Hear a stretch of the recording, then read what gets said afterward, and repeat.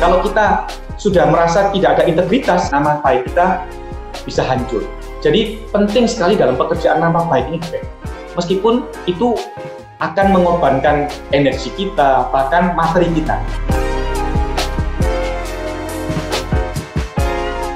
Halo, ketemu lagi di Forum Petra Business Insight. Ya, perkenalkan saya Juwanto Arcito, Rektor Universitas Kristen Petra. Nah, kali ini saya dapat role yang luar biasa. Saya jadi tuan rumah untuk satu tamu yang luar biasa juga. Oke, tanpa uh, panjang berpanjang waktu, saya perkenalkan dulu tamu kita kali ini.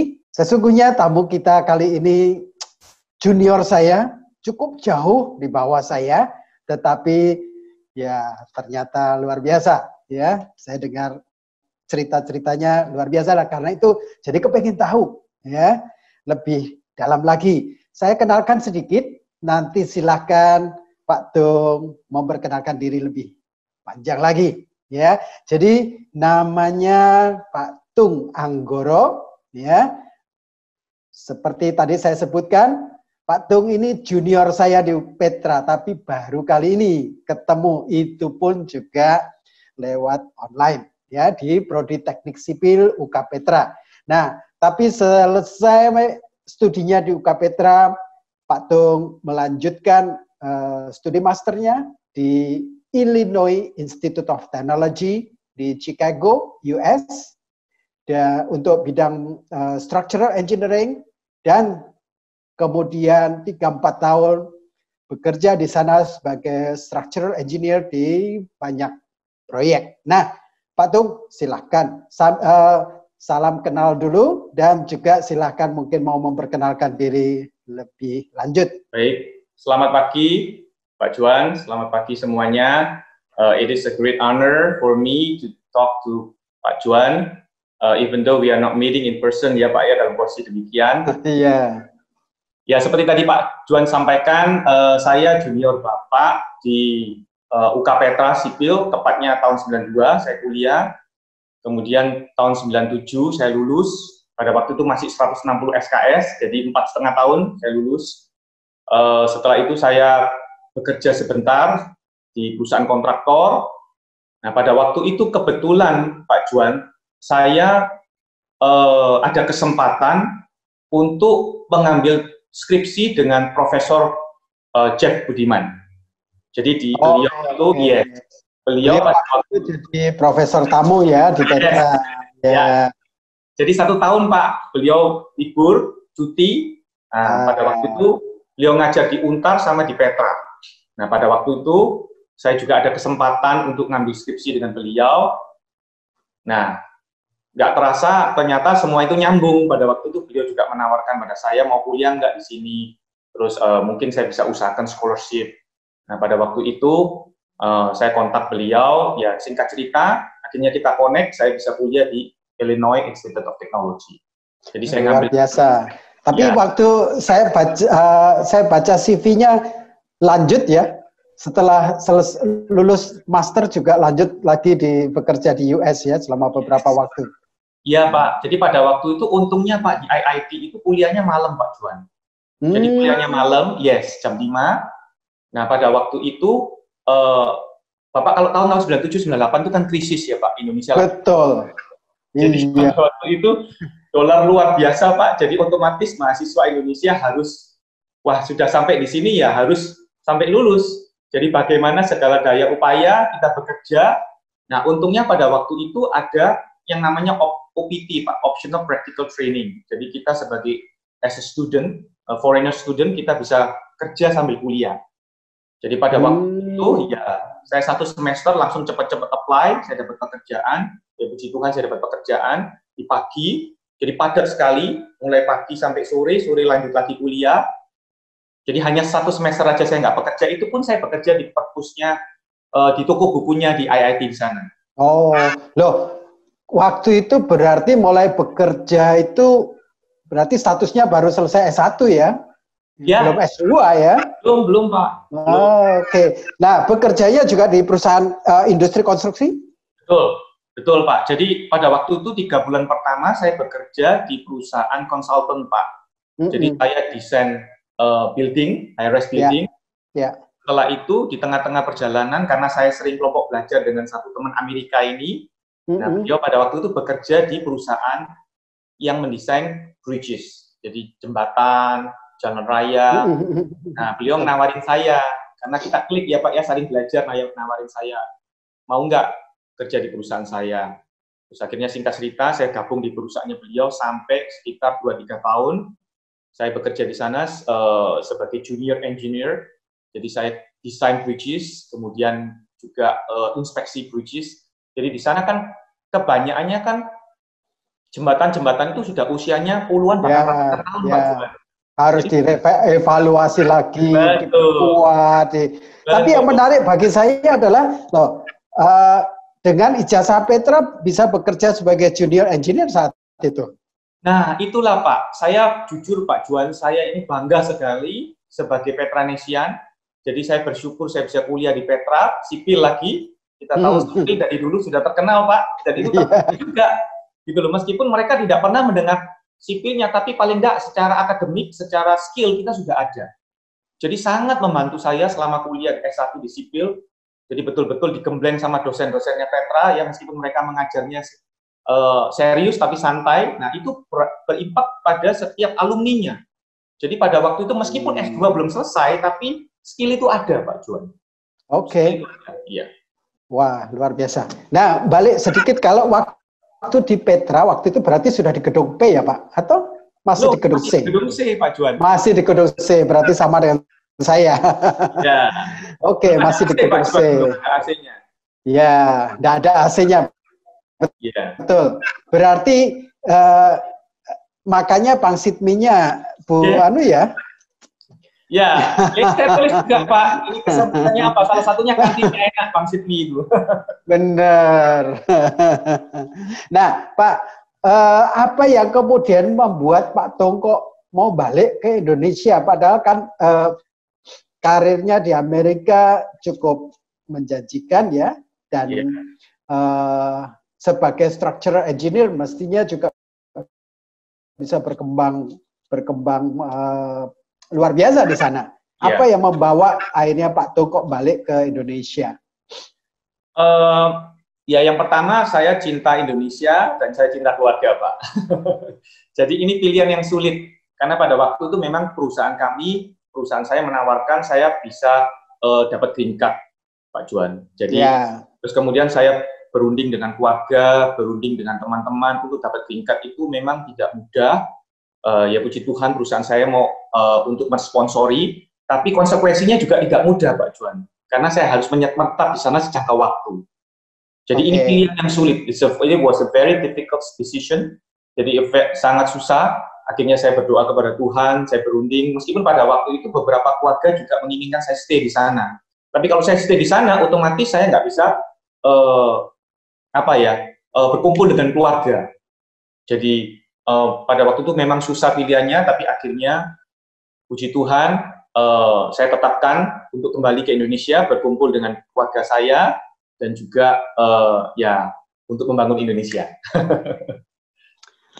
Luar biasa ini berarti meninggalkan dreamland ya. Ya Pak. dreamland Pak. Indonesia juga banyak peluang. Indonesia juga dreamland, benar. nah, uh, berarti waktu Pak Tung kuliah S2 itu kondisinya sebenarnya mirip-mirip saat ini ya, yes. krisis ya, yeah. krisis ekonomi. Betul, betul. Ya, krisis ekonomi. Dan ketika menyelesaikan studi, itu kurang lebih ketika balik Indonesia mulai ekonominya mulai naik lagi. Ya. ya? Nah, ya. oke, okay. Pak, apa yang kemudian membawa Pak Tung kok di Indonesia memulai dengan bisnis konstruksi juga yang uh, bergeraknya di bidang uh, apa? Taikon ya, betul? Ya.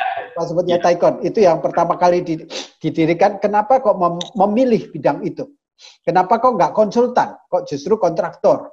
Ya, jadi ah. sebetulnya Pak Juan, saya tadi seperti saya sampaikan, saya pulang itu dengan segala resiko dan segala konsekuensi, karena saya sama sekali nggak ada background kontraktor Pak. jadi konsultan bahkan, jadi tidak ada orang-orang dekat saya, orang tua, kakak, eh, kakek, atau apa pun tidak ada sama sekali ada kaitannya dengan dunia sipil. Jadi eh, saya menerima konsekuensi itu, jadi saya pulang bakalan susah.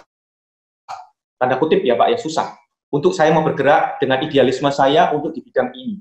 Karena ya itu tadi, tapi saya percaya kepada Tuhan, saya menyerahkannya semua kepada Tuhan, Tuhan yang memimpin saya pulang, tapi pada waktu saya juga tidak idealis, saya bekerja di bidang ini. Jadi pada waktu saya pulang, tahun 2003, Pak Juan, saya mau pekerja apa pun saya jalani. Selama itu memang kehendak Tuhan. Jadi pada waktu itu saya bukan langsung mulai langsung di pekerjaan kontraktor, tapi satu hal, satu hal Pak, saya sudah berketetapan begitu saya pulang, saya harus menjadi entrepreneur. Saya harus bekerja hmm. sendiri itu bidang apa pun itu juga. Jadi pada waktu itu ya mulai dengan membantu orang tua, buka soto, buka soto Pak. Jadi terus kemudian iya, terus kemudian okay. anyway, terus kemudian saya buka brokerage company. Brokerage company waktu itu Century 21. Pak Juan. Nah, pada waktu itu eh, karena saya terekspos Pak, saya selama ini saya merasa saya bisa eh, di bidang ini, tetapi saya untuk marketing itu sangat sulit. Kita okay. tahu sebagai orang teknik ya Pak ya, yeah. di belakang layar. Yeah. Jadi mempresentasikan diri saya pada waktu itu saya kesulitan di Amerika itu Pak. Karena mereka itu kan setiap kali selalu minta pendapat. Eh, pendapatmu gimana tuh? Nah, itu saya kesulitan untuk berbicara. Saya merasa itu kendala kita orang teknik. Jadi pada waktu itu saya tertantang untuk uh, belajar marketing. Nah, pada waktu itu ada kesempatan dari ipar saya, ayo kita buka kantor brokerage company. Nah, kita tahu brokerage company ya Pak ya di situ kan banyak marketing, jualan. Mm -hmm. Ya, saya belajar di sana banyak dunia marketing, saya banyak belajar di sana terekspos negotiation skill, presentation skill, leadership dan saya juga belajar gimana transaksi jual beli properti dan macam dan sebagainya. Di tengah-tengah itu kebetulan ada project Pak, kecil-kecilan. Nah, tapi saya pada waktu itu belum ada tim. Panggilan sipil itu terkembali ter, ter, uh, terbuka tapi pada waktu itu saya nggak ada tim Pak Juan, saya nggak ada tim, okay. sumber daya nggak ada. Akhirnya saya gandeng teman saya yang sudah kontraktor, sudah eksis sebagai kontraktor. Nah kita bekerja kecil-kecilan. Nah resminya Pak tahun 2010 itu uh, saya mulai karena franchise habis lima tahun ya broker company yeah. Pak. Saya habis, saya mulai mendirikan perusahaan kontraktor dan it, it was not easy at all Pak. Kenapa? Karena nggak ada orang yang percaya Pak Juan siapa yang percaya kita meskipun kita ada uh, pengalaman, kita ada akademik, tapi nggak ada orang yang percaya. Mereka selalu minta tanya, mana yang rumah kamu bangun, mana yang kamu gedung pernah kamu bangun. Hmm. Saya mau hmm. lihat. Nah ini yang kesusahan buat saya, susah banget. Ya, yeah, ya. Yeah. jadi untungnya pada waktu itu ada ipar saya sendiri yang akan bangun kantor kecil. Nah dia minta saya untuk membantu beliau. Nah saya bangun uh, dengan uh, tenaga lapangan yang ala kadarnya ya. Tapi saya sungguh-sungguh bekerja saya nggak pandang saya dapat uang apa enggak pada waktu itu soalnya sistem komisian Pak Juan betul. Komisian. Jadi mm -hmm. saya bekerja dengan sungguh-sungguh. Nah mulai dari proyek satu selesai proyek kedua juga uh, lanjut teman-teman sendiri semua juga gitu. Saya melulu nggak mengejar profit pada waktu itu. Yang paling penting ada proyek kecil besar saya kerjakan saya kerjakan dengan sungguh-sungguh. Dan akhirnya uh, semua selesai dengan baik. Pelan-pelan dari situ nanti saya mulai mengangkat Pak. Awalnya profitnya sedikit banget, tambah tambah lagi, tambah lagi dengan dengan bertambahnya portfolio-portfolio itu. Jadi memulai memang sulit sekali ya, memulai sesuatu yang baru luar biasa sulit ya. Ya. Ya. Tapi sempat nggak ngalami jatuh bangun gitu? Oh banyak Pak, ini. banyak sekali. Karena kita tahu Pak Juan ya di bidang kontraktor. Tadi Bapak tanya kenapa kok nggak di konsultan? Betul. Ya karena uh, pada waktu itu Tuhan membuka jalan sebagai kontraktor. Jadi saya jalanin, dan seperti Bapak ketahui bahwa di kontraktor ini yang terlibat tuh banyak sekali Pak Juan. Mm-hmm. Jadi bukan hanya kita, tetapi tenaga lapangan, terus kontraktor, pihak ketiga. Nah kita ini dituntut untuk mengkoordinir semua ini supaya mereka ini bekerja dengan baik, harmonis, menghasilkan satu produk yang baik. Nah dalam bekerja ini kan semua bukan di tangan kita Pak. Nah ini kadang-kadang sering kali juga uh, satu dua kali uh, ada customer yang nggak happy, ya kemudian ada uh, beberapa kasusnya saya menghadapi customer yang kurang baik, ya mereka nggak mau bayar, begitu hmm. pak. Jadi hmm. Hmm, tidak tidak tidak seperti yang kita bayangkan lancar semuanya. Banyak hal yang perlu kita pelajari dari dari situ jatuh bangun jatuh bangun itu saya bisa belajar. Setiap proyek selalu saya evaluasi. Kenapa? Setiap proyek selalu saya evaluasi. Kenapa? Akhirnya ya sejalan dengan waktu, sejalan dengan jam terbang, semua itu bisa pelan-pelan disempurnakan. Taikon ini sudah berapa tahun ya Pak? Um, kurang lebih Pak kalau saya mulainya 15 tahun, tapi resminya 10 tahun. Uh, mulai PT okay. gitu, uh, Taikon. Nah, saya kok dengar-dengar selentingan kalau Taikon itu ternyata juga ada singkatannya ya Pak ya, kepanjangannya. Dan itu values-nya values-nya Pak Tung ya dengan uh, Taikon ini. Bisa yeah. di-share Pak apa itu uh, Taikon ini singkatan apa? Ya. Apa turunannya Taikun gitu supaya sebentar lagi taik, uh, harapannya jadi Taikun nanti sebentar lagi. Oh, iya Pak. Kebetulan saya kan bekerja di perusahaan konglomerasi di Amerika Pak yang bernama okay. Taiko. Taiko, T T Y C O. Hmm. Nah, kemudian uh, tahun 2007 saya married dengan seorang istri yang bernama Yuvita, pakai Y Pak. Ya. Nah, kemudian yaitu akhirnya kita mau cari nama apa, akhirnya ya T Tung Y Yuvita C O N Construction. Jadi tycoon. Oh, oke. Okay. Nah, saya juga mempunyai mimpi satu saat bisa menjadi tycoon. Tycoon itu kan perusahaan besar ya Pak ya. Hmm. Nah, tycoon sendiri ada uh, ada value-value-nya di sini seperti di Petra ya Pak Light ya. Ya. Jadi uh, tycoon itu T itu sendiri trustworthy. Jadi uh, karena di perusahaan ini trustworthy is very crucial Pak. Jadi orang yang mau bangun ke kita ya dia rumahnya dibeli ya mereka, terus gedungnya mereka yang mau kita bangunkan, mereka harus tahu dulu, harus trust dulu siapa yang akan bangunkan rumah saya atau gedung saya. Nah itu kepercayaan klien ini penting sekali. Nanti itu ada trustworthy. Nah untuk Y itu yang Pak. Jadi kita harus stay young, stay young, always stay young, always upgrade, always up to date, okay. up to date terhadap desain, up to date terhadap material yang kita pakai di lapangan. Jadi kita nggak bisa uh, hanya material yang kita pakai yang dulu-dulu kita pakai pakai terus kita terus up to date up to date. Hmm. yaitu yang terus kemudian C itu adalah consistent. Nah consistent. ini yang sulit pak ya. Jadi ada proyek yang bagus proyek yang jelek nah kita akan berusaha semaksimal mungkin kita always consistent. C O sendiri ada optimistic optimistic nah bapak uh, seperti kita tahu sekarang ya pak ya zamannya sekarang ini kita harus optimis nah saya percaya optimis itu tidak bisa berdasarkan kita sendiri optimis itu perlu di dalam Tuhan, Pak. Ya, saya paling sat, hal satu ayat yang sangat terkesan buat saya itu Matius 24 ayat 17, di mana pada waktu itu Petrus berjalan di atas air, Pak Juan. Mm -hmm.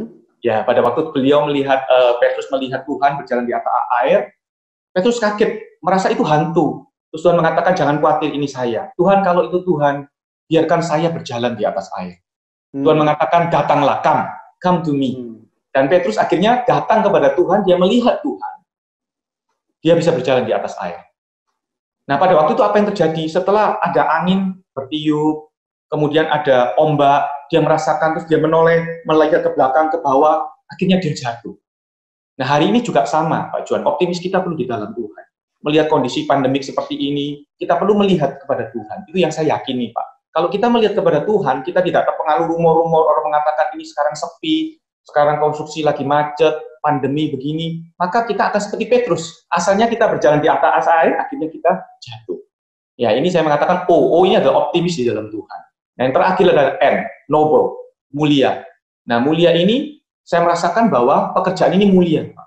Pekerjaan ini menyerap banyak tenaga kerja. Semakin lama saya semakin bekerja, saya semakin merasakan dengan bekerja ini, maka saya membantu banyak orang. Saya mesejahterakan banyak orang. Kalau satu proyek dari tim Tikon sendiri, itu bisa menyerap sekitar puluhan, belum termasuk subkon, belum termasuk uh, pihak ketiga.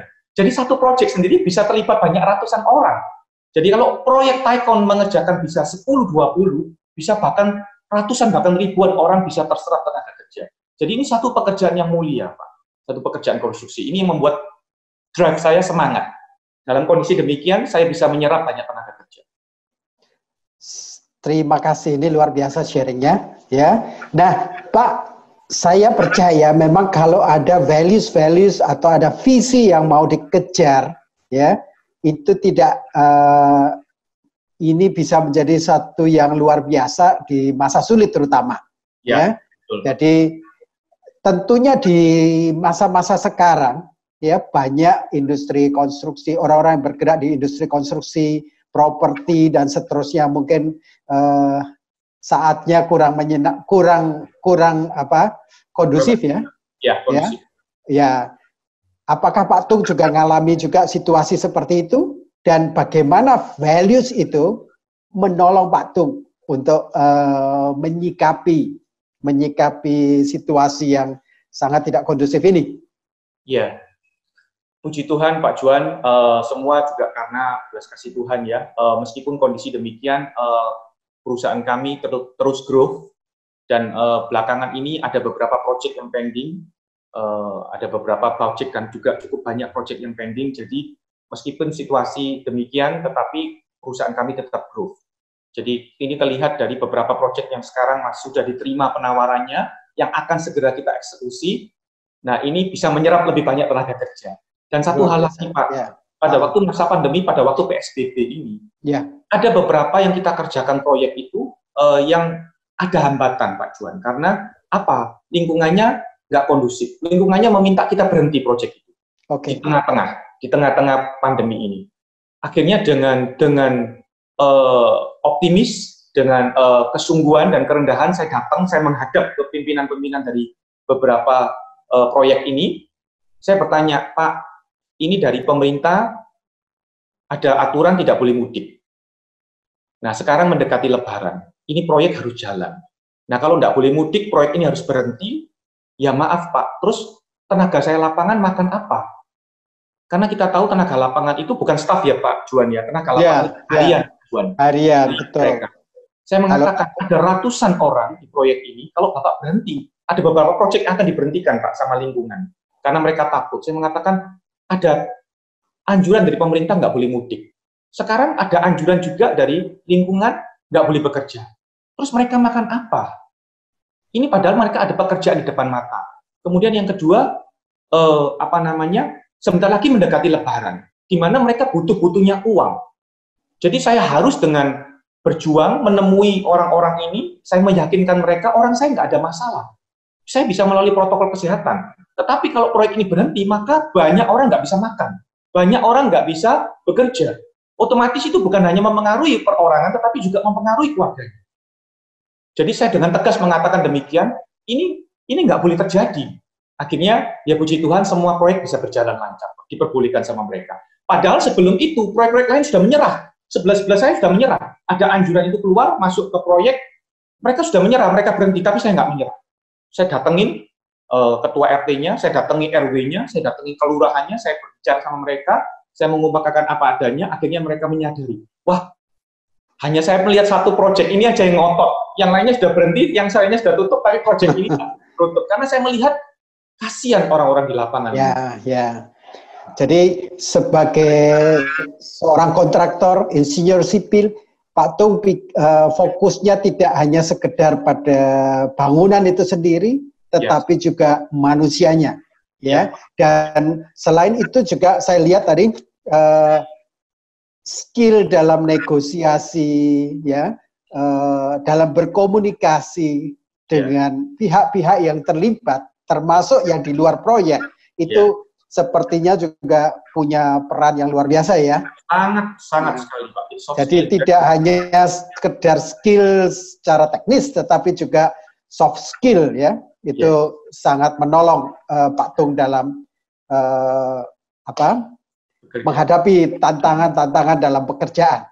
Pak yeah. Tung, uh, apa yang uh, menolong Pak Tung dari uh, perkuliahan di UK Petra? Nilai-nilai atau skill-skill seperti apa yang menolong Pak Tung dan terbawa sampai sekarang? Itu yang berguna sekali dalam karir Pak Tung sekarang. Yang pastinya dosen sangat membantu Pak ya pelajarannya Petra uh -huh. uh, sangat bagus sekali pengajarannya, uh -huh. kemudian kampusnya pada waktu itu juga uh, apa perpustakaannya dan yang nggak kalah penting adalah dari awal kita perkuliahan kita sudah diajari untuk koordinasi, hmm. teamwork. Teamwork. Yes, di dunia sih bahkan mungkin nggak tahu sekarang Pak Juan dulu zaman saya uh, skripsi pun harus dua orang. Masih. Masih ya Jadi, Pak Juan itu memang di sipil dipertahankan. Jadi wow. mulai tugas, tugas-tugas dan seterusnya, baja, beton dan seterusnya memang didesain untuk dua orang. Nah, ya. itu sangat membantu sekali Pak Juan. Teamwork itu membantu sekali. Jadi ya. pekerjaan sipil itu tidak akan bisa terlaksana dengan baik kalau nggak ada satu koordinasi, ada satu uh, apa ya kerjasama yang baik. Jadi mulai dari awal kita itu sudah dibimbing di perkuliahan untuk uh, bahwa pekerjaannya adalah tim. Nah, kita harus bisa berkoordinasi, kita harus bisa ngemong satu sisi, kita harus satu sisi juga nggak bisa kita orangnya cepat, yang lainnya lambat, kita harus bisa ngikutin. Jadi inilah yang uh, yang sangat membantu saya juga. Jadi hmm. sisi timnya. Oke, waktu itu Pak Tung juga uh, terlibat dalam kegiatan kemahasiswaan enggak waktu kuliah? Saya panitiaan atau? Saya terlibat Pak, tapi di kepanitiaan gereja Pak, bukan di kampusnya di uh, di pekerjaan uh, di gereja. Jadi di gereja. Ya. Oke. Okay. Di, di kampus enggak, tapi di luar kampus. Yes. Oke. Okay. Ya. Oke, nah Pak Tung, uh, teman-teman mahasiswa itu sempat ada ngomong begini, Pak, saya uh, ini beberapa minggu lalu ya, yeah. ini kan situasinya pandemi, ya, krisis. Jadi yeah. ada beberapa mahasiswa saya itu cerita begini, Pak, saya diomongin papa mama saya masa depannya insinyur sipil itu suram karena uh, industri konstruksinya lagi lesu semua. Nah, itu yang pertama. Yang kedua, ada yang ngomong, Pak, uh, ya ini orang lain yang bercerita ke mereka. Susah bekerja dengan integritas jadi insinyur sipil. Ya. Mau jadi, apalagi kalau jadi kontraktor katanya. Nah, gimana dengan dua pertanyaan tadi, Pak? Ya. Karena saya sudah menjalani Pak Juan dan saya sendiri ya. juga, uh, karena karena karena juga belas kasih Tuhan saya bisa kuliah di Amerika, saya bisa bekerja di sana, saya bisa melihat dan saya bisa itu yang membuat drive saya. Jadi kalau kita lihat kota-kota besar di Amerika itu Pak, meskipun mereka sudah established, jadi sudah ya. mereka sudah well settled, bangunan sudah tinggi-tinggi, ya, tapi namanya lokasi itu nggak bisa diganti. Nah, saya melihat mereka yang sudah berkembang demikian pesat, ada bangunan-bangunan yang sudah tinggi, berapa puluh lantai itu dirobohkan Pak Juan. Hmm. Dirobohkan, ya dengan teknologi di mereka dirobohkan. Jadi kenapa? Karena pembangunan ini nggak akan bisa berhenti selama ada manusia. Dan manusia ini terus bertambah, terus bertambah. Otomatis apa? Mereka membutuhkan satu lahan, lahan untuk bertempat tinggal, lahan untuk bekerja, lahan untuk berkreasi, dan semua itu membutuhkan kita sebagai apa? Sipil maupun arsitek. Nah, itu tidak akan pernah sepi selama ada manusia, pembangunan tidak akan pernah sepi. Melambat sesaat mungkin ya ya, yes. tetapi oke. Okay. Ya. Nah, oke. Okay. Justru mungkin saat-saat ini seperti yang kedua ini uh, sebagian uh, teman-teman mahasiswa sekarang wah susah mempertahankan integritas, ya. apalagi ya. kalau jadi kontraktor. Nah, ya, tapi Pak Tung tadi punya nilai-nilai yang mendasari uh, Pak Tung dalam bekerja. Nah, gimana dengan tanggapan uh, pandangan seperti yeah. ini? Integritas itu penting sekali Pak Juan. Kenapa? Karena kita ini bekerja ini dunia ini ada yang mengatakan dunia itu sempit Pak. Jadi uh, apa namanya satu dengan yang lain suatu saat pasti akan ketemu. Nah dalam dunia kontraktor ini kita harus bekerja dengan integritas penuh. Meskipun saya juga mengalami Pak Juan beberapa proyek itu saya rugi, saya rugi. Jadi, tetapi bukan berarti rugi terus kita tidak melaksanakan dengan baik, dengan tidak uh, komitmen dan tidak serah terima, enggak. Meskipun saya tahu di tengah-tengah perjalanan ini proses akan rugi, tetapi dengan penuh integritas kita harus selesaikan.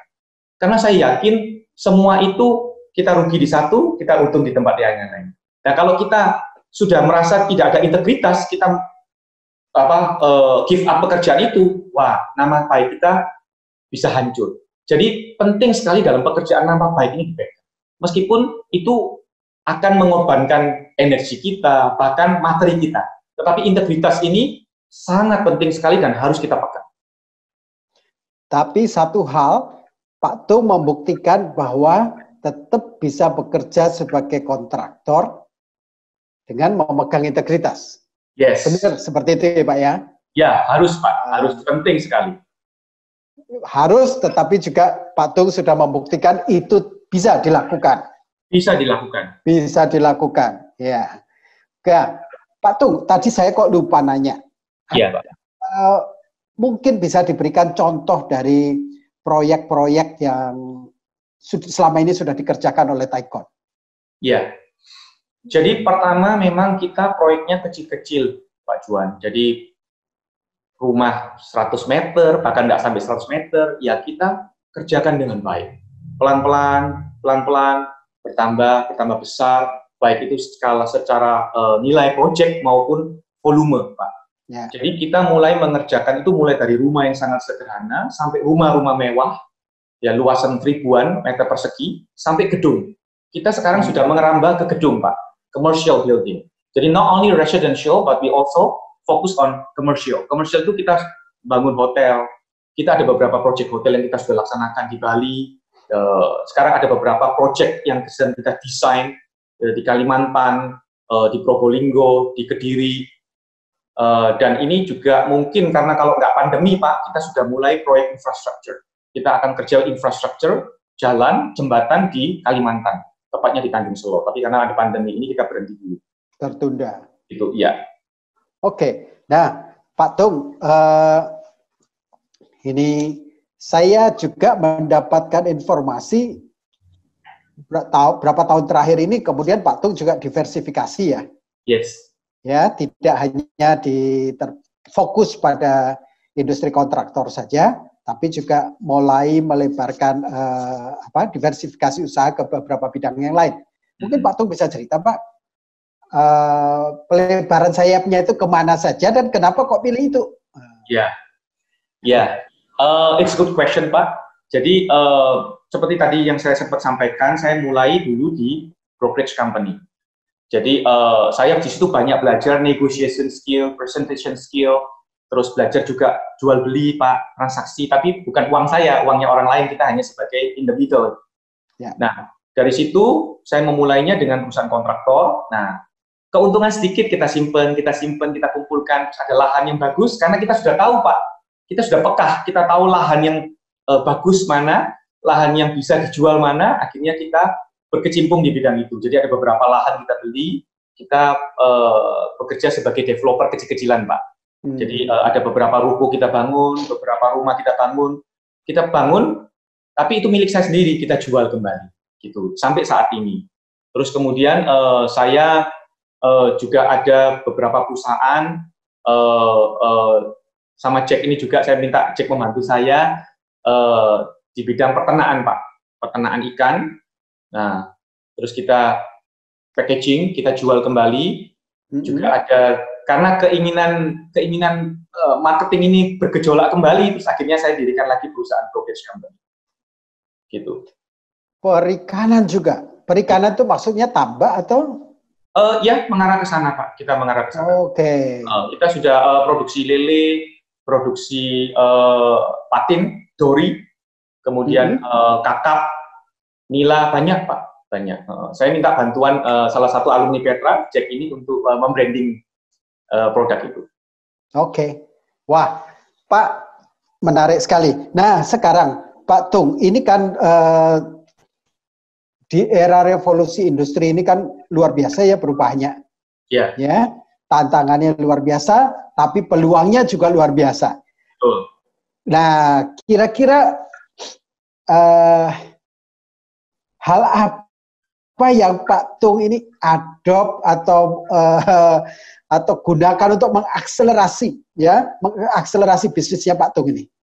Kira-kira teknologi apa yang Pak Tung gunakan untuk mengakselerasi bahkan? Ya. Uh, tadi kan mulai ya, mulai menggunakan jasa konsultan branding. Ya, ya. ya. Ini, ini kan sudah pemikiran yang yang uh, pemikiran yang maju ini. Ya. Jadi oke. Okay. Apalagi yang mungkin sedang sudah atau sedang atau bahkan dipikir, sedang dipikirkan. Ya. Ya. Uh, seperti tadi uh, value kita ya Pak ya, icon terus ya. stay young tadi tuh. Ya, stay young. Kita ah. terus update, kita harus stay young. Nah, salah satunya apa, Pak? Kita merekrut orang-orang yang young juga, orang-orang yang up to date. Jadi okay. saya ini uh, saya rekrut dari banyak perusahaan universitas-universitas uh, yang cukup ternama di seluruh Indonesia. Mereka cukup up to date, mereka membantu saya karena kadang-kadang kalau kita sudah fokus pada pekerjaan, kita ini nggak bisa mengikuti hal-hal yang mereka kaum milenial ini, Pak. Nah, Betul. Nah, bukan berarti terus kita nggak milenial, kita nggak, kita terus ngikutin. Ya dengan stay young, kita merekrut orang-orang yang young, orang-orang yang energik. Ya, kalau saya nggak ada kemampuan itu, maka saya meng-hire orang. Ya, seperti branding. Ya, terus saya uh, ada beberapa yang juga saya meng-hire. Karena saya belum ada kemampuan, saya belum ada divisi seperti itu, saya hire.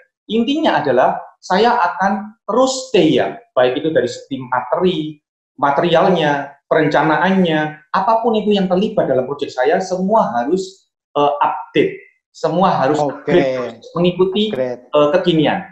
Ya, nah ini ke depan kira-kira uh, arahnya ke mana ini bisnisnya Pak Tung mau di, di, mau dilebarkan ya ke depan ini? Apakah ada rencana-rencana tertentu? Hmm. Kalau mungkin uh, boleh di-share. Iya, banyak sih Pak. Kalau planning sudah banyak. Saya memang setiap uh, tahun setahun sekali, tutup tahun, saya selalu review apa yang sudah merupakan target, yang belum terpenuhi mana, terus kita mau bergerak di bidang mana. Ya kembali lagi, tetapi semua perlu dibantu doa Pak Juan. Uh, yang pastinya, for bisnis saya ini adalah kontraktor Pak. Jadi kontraktor ini saya berkomitmen untuk terus berkembang, terus uh, meluas, uh, bukan hanya di residential, komersial, jadi banyak tantangan. Ya kita akan terus berkembang, growth untuk kontraktor ini, uh, bukan hanya juga di komersial tapi juga di infrastruktur. Otomatis semua ini membutuhkan uh, satu tim yang kuat, yang profesional. Nah ini yang saya merasa masih ada sedikit gap, kekurangan-kekurangan yang terus saya benahi, terus saya benahi, terus saya pelengkapi. Sehingga apa? tim saya menjadi tim yang solid yang bisa mengerjakan satu proyek yang bagus. Oke, Pak, itu uh, rencana ke depan ya.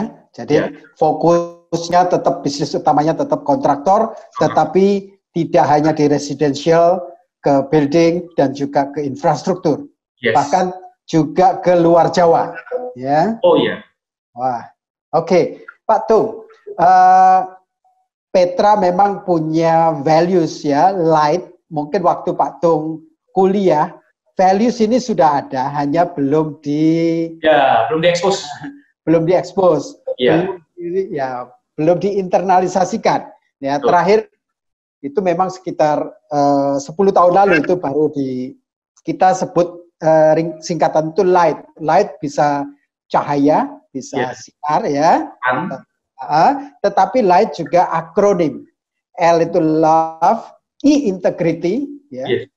G itu growth. Ya. Hanya humility, kerendahan hati, dan T-nya truth. Oke, okay. tadi saya melihat ada kesamaan-kesamaan dari dengan yang values-values dari icon. Yeah. Ya. Oke, okay. Pak Tung, uh, kok bisa ketemu akronim yang sangat menarik tetapi bukan hanya sekedar menarik tetapi juga punya filosofi dan values yang luar biasa seperti itu proses apa yang mendasari sehingga Pak Tung bisa keluar tidak hanya sekedar T dari Tung Y dari Yovita tetapi juga T Y konnya juga punya akronim yang values tadi proses apa yang bisa menolong Pak Tung menemukan values itu dan itu dijiwai benar dalam menjalankan bisnisnya.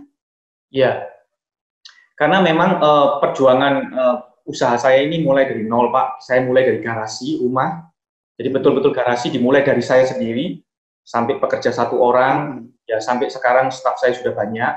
Uh, dari perjalanan ini saya banyak jatuh bangun, pengalaman pengalaman hidup, pengalaman pengalaman bekerja, pengalaman bagaimana uh, di lapangan, bertemu dengan orang, ya.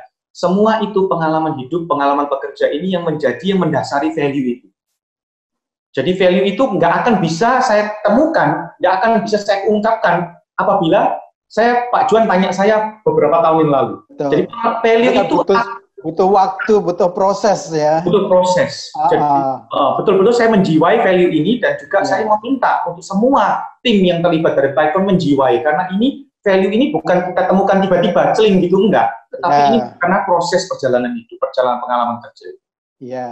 Apa tantangannya untuk tetap memegang teguh values itu, Pak? Karena seiring berjalannya waktu dengan tantangan-tantangan godaan-godaan yang dalam tanda kutip ya saya yakin pasti ada banyak tantangan untuk tetap memegang values dan visi misinya Taikon. Ya. Apa yang, yang Pak Tung lakukan? Yang pertama pastinya Pak kita harus takut pada Tuhan. Ya, hmm, itu yang bisa menjaga value kita. Uh, takut pada Tuhan. Jadi kita ini bekerja bukan takut pada manusia, kita bukan mencari kemuliaan manusia, tapi kita mencari kemuliaan Tuhan.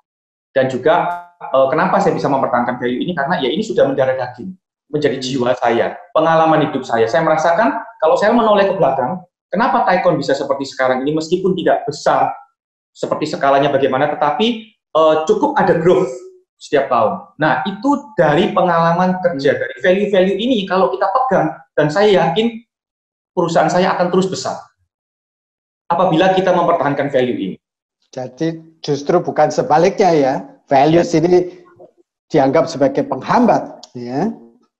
Oke, ya, Pak Tung, uh, terakhir, Pak Tung mestinya juga satu saat uh, saya harap bersedia kalau diminta sharing ke teman-teman mahasiswa, ya di Petra, khususnya prodi ya. teknik sipil, junior ya. juniornya Pak Tung, ya karena teman-teman mahasiswa juga membutuhkan uh, role model, membutuhkan uh, inspirasi dari seniornya yang bisa membuktikan bahwa dengan menerapkan values-values yang baik itu juga tetap bisa menjalani atau mengembangkan bisnisnya ya oke di dunia yang tantangannya juga tentunya tidak mudah ya.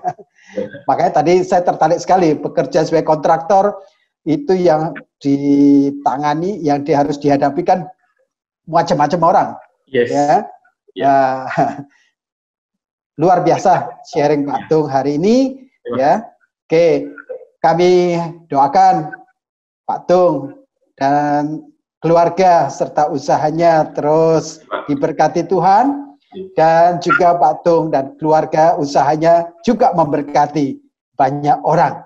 Ya, ya. saya senang tadi memikirkan bahwa pekerjaan kontraktor ini melibatkan banyak orang, memberi makan banyak orang, yes. dan ini yang jadi salah satu drive Pak Tung terus menekuni uh, bidang ini. Yeah. Saya pikir perbincangan kita hari ini luar biasa dan saya harap ini jadi berkat juga untuk setiap yang mendengarkan sehingga uh, apa pengalaman hidup, insight, values dan juga pengalaman mengembangkan bisnis jatuh bangunnya, visi yang terus dipertahankan itu juga bisa menjadi inspirasi bagi setiap yang mendengarkan acara ini. Baik Pak Tung, terima kasih uh, waktunya. Ya, saya belajar banyak juga dari pertemuan kali ini. Ya, Petranesian, terima kasih untuk perhatiannya. Kita sudah uh, dapat waktu dan bekal sharing yang luar biasa dari Pak Tung Anggoro. Terima kasih, Tuhan berkati rekan-rekan semua. Amin.